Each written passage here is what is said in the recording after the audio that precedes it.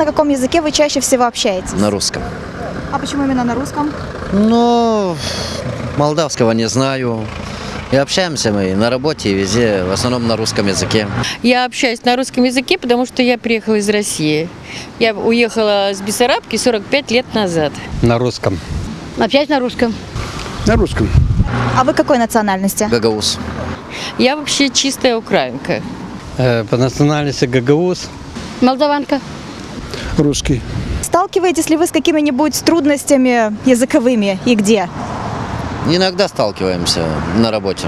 Приходят некоторые бумаги на румынском языке, а толком даже на работе есть люди, которые молдаване, тоже не знают румынского языка литературно этого.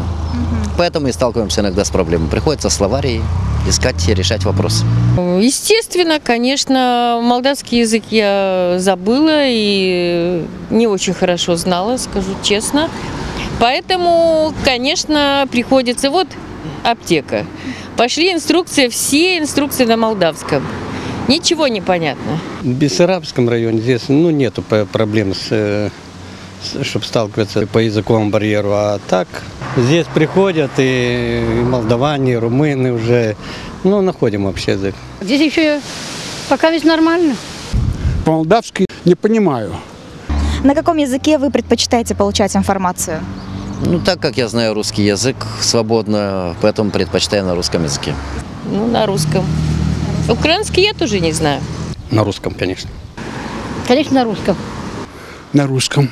Достаточно ли для вас информации на русском языке здесь, в Молдове? Пока достаточно, но хотелось бы, конечно, чтобы и письменность было, на, когда приходят документы. Вот, вот сейчас тоже с суда или откуда-то приходит все на румынском, на молдавском. Значит, ищем переводчиков, кто перевел бы.